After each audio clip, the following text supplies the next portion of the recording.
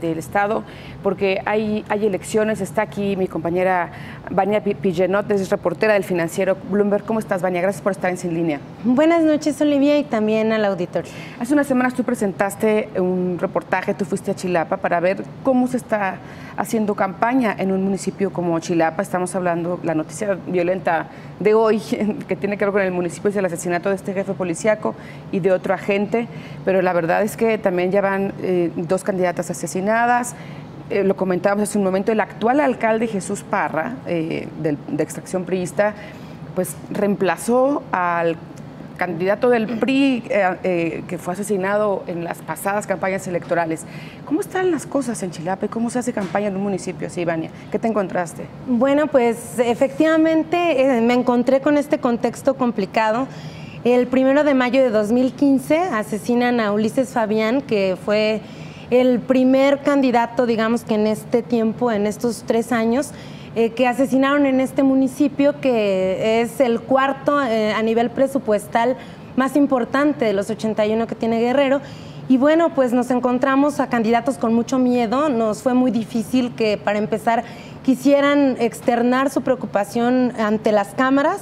Pero, por ejemplo, Jesús Parra es alcalde actualmente con licencia porque hay una reforma a nivel estatal en donde los alcaldes pueden volver a, reelegirse, se pueden reelegir. Él actualmente está, buscando la está buscando la reelección, pero no quiso hablar, al igual que Alicia Zamora Villalba, que también es una priista que fue alcaldesa de Chilapa y que actualmente contiende por la Diputación Local por el Distrito 25, luego de que asesinaron a Dulce Rebaja Pedro, que fue la primera eh, candidata que asesinaron, precandidata, perdón, en, en, estos momentos ya, y también después asesinan a Antonia Jaimes Moctezuma y también tuvimos la oportunidad de platicar con la actual candidata a, a este distrito por el PRD, pero ella no quiso hacer declaraciones, únicamente los acompañamos a ella y a Antonio Hernández, quien es el, actual candidato a la alcaldía por el PRD, pero no nos permitieron, ella al menos, Araceli García, quien sucede a Antonia Jaimes, no quiso hablar porque dice que iba a ser muy prudente, que no quieren hacer actos masivos, no quieren hacer declaraciones y mucho menos mencionar al crimen organizado porque estos elementos los ponen en riesgo. Estas dos eh, mujeres asesinadas eran aspirantes a una diputación local, una por el PRI y otra por el PRD. Efectivamente. Tú decías en el reportaje que presentaste hace unas semanas, Vania, que lo, digamos, lo normal en una campaña electoral es que los candidatos o las candidatas lo que quieren es llamar la atención y hacer llamados muy, muy abiertos al voto y hacen, no sé, actos donde todos hemos visto, ¿no? Este, muy públicos y donde va la gente y les regala playeras y o sea ese tipo de cosas son las campañas normalmente en el país pero en Chilapa no es así no en Chilapa no es así y pese a que está a una hora diez minutos de Chilpancingo es, Eso es muy importante que lo menciones porque mm, a lo mejor podemos pensar que Chilapa es un lugar muy lejano, muy escondido, metido en la sierra de Guerrero, pero no, está a tan solo una hora y cuánto? Diez minutos de la capital. Una hora, diez minutos de la capital. Y hay retenes eh, militares en la entrada y en la salida y bueno, eso sí no... No pudimos tenerlo en imagen por la misma inseguridad que se vive en este municipio, pero en los retenes militares están colocados eh, las personas a las que la Fiscalía General del Estado pues acusa como los generadores de esta ola de violencia y son capos que, tienen que ver, o así los mencionan como líderes criminales de la banda delictiva de los rojos específicamente y los ardillos que territorialmente están en pugna en este municipio tan cerca a la capital.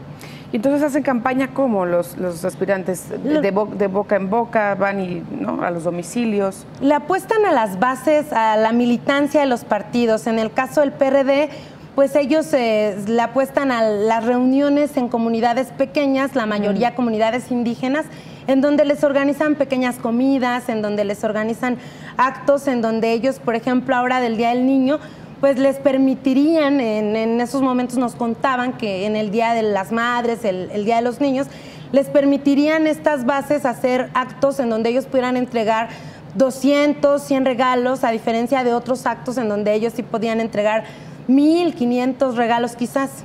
Entonces... Ahora, es eh, imposible entender la política de un lugar como, como Chilapa sin que esté relacionado con los grupos delincuenciales que están en disputa. Se habla mucho cuando uno va a Chilapa de que unos están con un grupo, otros están con otro grupo. Es, es muy delicada la situación, el equilibrio político también.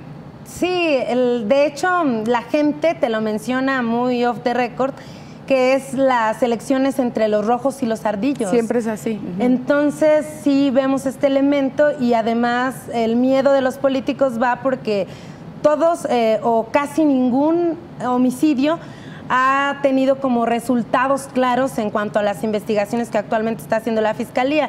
Hablamos del primer homicidio de Ulises Fabián en 2015 y hasta el momento la familia eh, de manera muy muy precavida, pero pues ha dicho que no hay avances sustanciales, ellos no saben quién mató a Ulises Fabián y entre estos dichos pues se menciona a la delincuencia organizada, pero no llegan a tener autores intelectuales tras las rejas, lo que impide que los demás candidatos se sientan al 100% seguros. Sí, claro, lo, lo, que decimos siempre, la impunidad. No solo estamos hablando ahorita de de temas que tienen que ver con política o de violencia que tiene que ver con políticos, pero en general la impunidad, ¿no? Hay, es un municipio con desplazados, con personas desplazadas, con personas eh, eh, desaparecidas, donde la vida es muy difícil. Hace varias semanas hablábamos de los artesanos veracruzanos que fueron a Chilapa y los, los confundieron al parecer y bueno, ya sabemos lo que pasó con ellos, en fin, que es un estado muy complicado.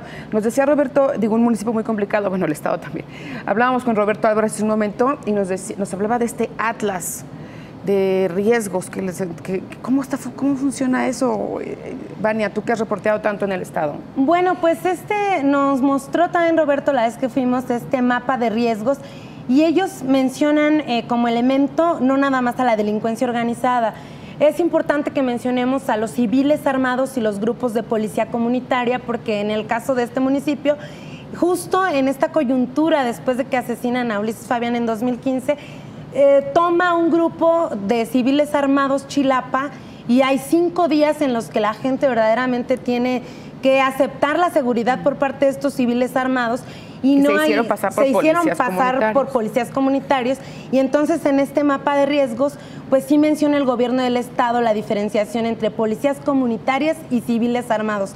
¿Y qué pasa cuando dice civiles armados?